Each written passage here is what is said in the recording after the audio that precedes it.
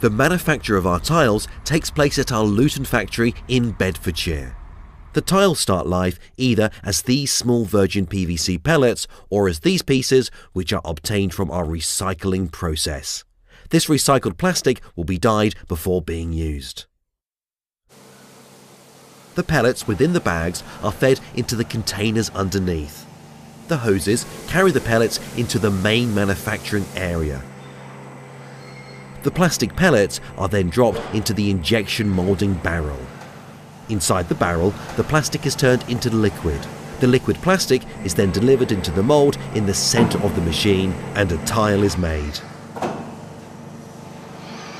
The robot takes the tile and places it on one of the cooling tables. The robot works in a cycle, allowing each tile to cool for 6 minutes.